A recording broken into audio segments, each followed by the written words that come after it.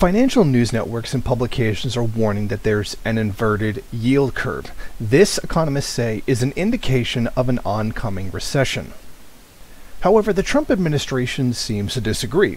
The White House trade advisor Peter Navarro dismissed the news, saying in an interview on Sunday with CNN that the short lived inversion last week really didn't count. Technically, we did not have a, a yield curve inversion. That, a, an inverted yield curve requires a big spread between the short and the long end. What As we had is a, a, smaller one. Correct. Well, all we've had is a flat yield curve. Well, it, it, was inverted for no, a little that, bit. That, that's not technically an inversion. It's a flat curve, which is a very weak signal of any possibility. The truth is, is that there is an inverted yield curve. Now, for us to understand why this is so serious, we must first understand what an inverted yield curve is. This graph shows the term structure slope, which is measured by the spread between the yields on 10 and 2 year U.S. Treasury securities.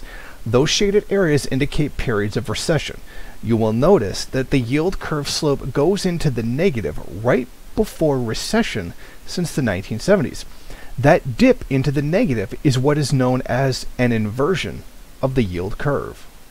What's happening is the short maturity interest rates exceed long maturity rates. This is typically associated with a recession in the near future. This graph shows the fitted probability that a recession will occur over the next year when the explanatory variable is the 10 to 2 year yield curve spread. The fitted probability peaks before the beginning of each recession, with the exception of an anomaly in the mid 1960s. While this is good at empirically predicting when a recession will occur, it gives no indication as to why it is true. There seems to be no consensus among experts as to whether or not that slope in the curve contains the information necessary to determine current and expected future monetary policy actions.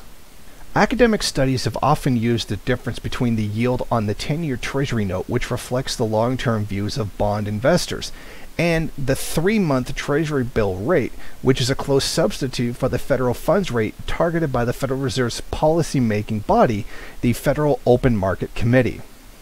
Now, to return to our news story.